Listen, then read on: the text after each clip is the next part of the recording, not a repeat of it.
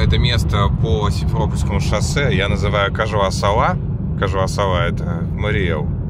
Такое село есть, которое тоже такой подобный немножко спуск. И, как говорится, вид дальний, да невыразительный. При том, что да, если ехать из Ишкару в сторону Ячика, то там вот э, уже начинается вот Мари-Чодра, глухие леса, заповедник. Но он там начинается чуть дальше. Вообще Мариэл это тяжелый регион. Очень насыщенный энергетикой. Ну или как там это называется. Сады энергетик там есть. А вот называется ли это энергетика? Наверное, не совсем верное слово. Но, понимаешь, э, вообще, вообще вся моя жизнь, она находится всегда на ну, вот на горизонте событий, вот рядом с черной дырой, которая может быть, может быть источником силы, может быть, э, она очень э, почитаема, она имеет высокий статус, но при этом она может тебя засосать, скажем так, да, дипломатично. И, собственно говоря, так тебя и видели. И это всю мою жизнь. Ну, когда я жил внутри Марийской я как бы не настолько, может быть, это чувствовал. Что называется, как, э, как в самолете во время полета. Ты же не особо. Можно и перепутать с чем-нибудь там. Не знаю. Ну, с автобусом вряд ли перепутаешь, но... Ну вот, понимаешь? И что такое Мариэл? Я точно не могу сказать. Вообще, я считаю, что есть, наверное, две Мариэл. Есть Мариэл сама по себе, есть моя Мариэл. Моя Мариэл — это то, что... Понимаешь, вот то, что находится в моем сознании, когда я нахожусь за ее пределами. Это дело не, не в вопросе восприятия. Дело именно в том, что вот моя книга, моя, моя вселенная, да, она вся, практически вся происходит в Мариэл. Я себе, говорится, уже я про это говорил.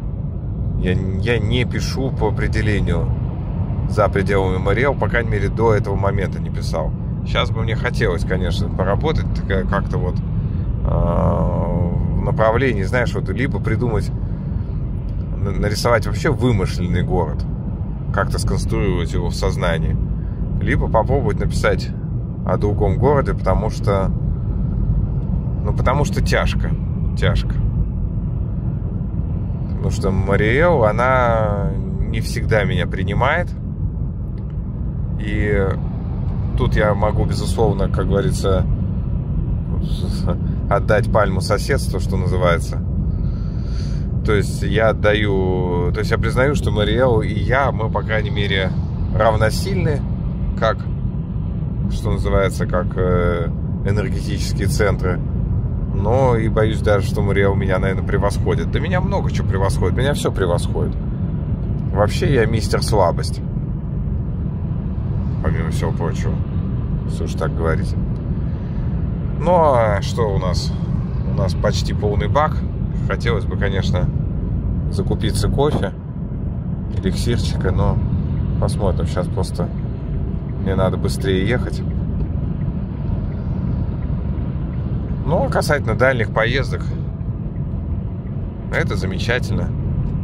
Северная поездка имеет как раз тот смысл, что это не Мариэл, и при этом дальняя поездка, увидеть все-таки что-то новое, и при этом сурово северное. Да, я склоняюсь больше, конечно, я больше люблю север, это безусловно.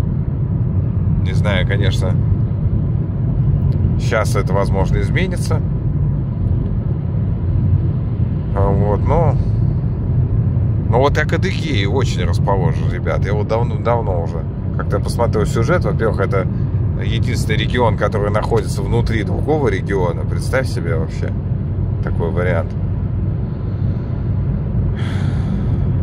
Поэтому...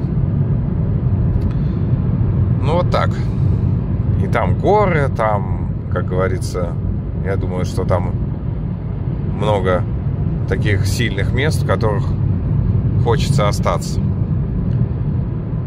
И еще я мистер помещения. Мне очень важно, чтобы помещение мне подходило, чтобы мне было хорошо внутри этого помещения. Моя комната а, вот э, в моей штаб-квартире, которую все время показываю, я, не, не, мне там нехорошо. Мне с самого начала там не было хорошо.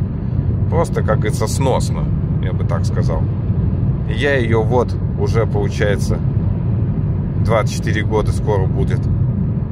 Ну, 23 года ровно, скажем так. Ровно 23 года.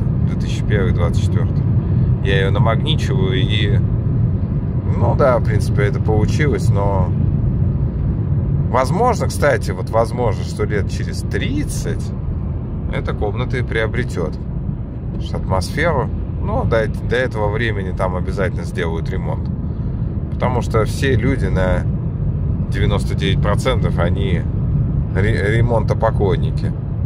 Только один я вот такой, который именно ценит вот эту старую намоленную атмосферу, понимаешь, которая вот годами, годами скапливалась. Еще, конечно, желательно, что в помещении кто-то умер, это вообще хорошо. Но про это отдельный разговор будет. Ладно, двигаемся.